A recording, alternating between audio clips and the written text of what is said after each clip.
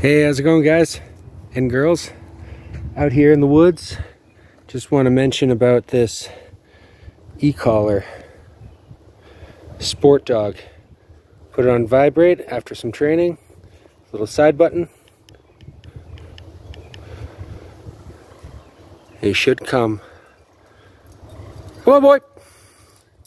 Good boy. This isn't shocking him. It's just a beep in that little VT, that's vibrate. So these two buttons vibrate.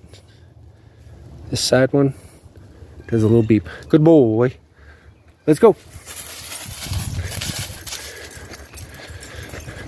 And we continue on.